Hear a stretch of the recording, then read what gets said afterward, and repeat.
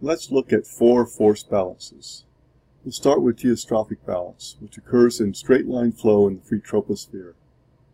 In geostrophic flow, only the pressure gradient force and the Coriolis force are important. The pressure gradient points to low pressure on the height surface, or low height, and thus low geopotential, on a constant pressure surface.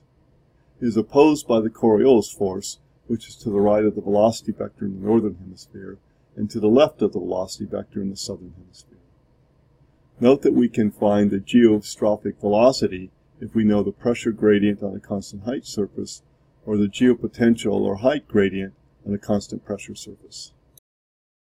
For inertial balance, the Coriolis force is balanced by the horizontal centrifugal force, with the Coriolis force to the right of the velocity vector in the northern hemisphere and to the left in the southern hemisphere. This balance is rarely seen in the atmosphere because there is almost always a pressure gradient force of the same magnitude as the uh, centrifugal force and the Coriolis force. In cyclostrophic balance, the pressure gradient force is balanced by the centrifugal force.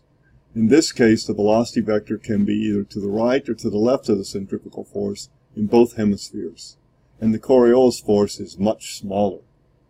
This balance is seen in tornadoes and other small vortices. In the northern hemisphere, tornadoes are mostly cyclonic, with only a few percent anticyclonic, while smaller vortices are about as often anticyclonic as they are cyclonic. For gradient wind balance, the pressure gradient force, Coriolis force, and horizontal centrifugal force are all about equal. The two physical cases are shown for the northern hemisphere in the figure along with the geostrophic balance. With a cyclonic gradient, that is, curvature around the low pressure center, the PGF points to the low and is constant as long as the pressure gradient is constant. In this case, the PGF is opposed by both the Coriolis force, which depends on the velocity, and the centrifugal force, which depends on the velocity squared. Since the PGF is constant, then the sum of the centrifugal and Coriolis force must be equal to it.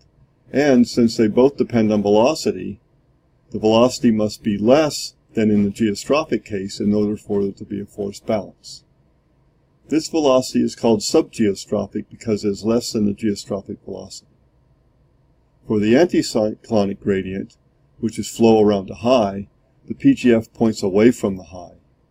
It is joined by the centrifugal force which means that the Coriolis force must be stronger uh, in the geostrophic case than in the geostrophic case because it must balance both the PGF, which is the same in the geostrophic case, and the centrifugal force.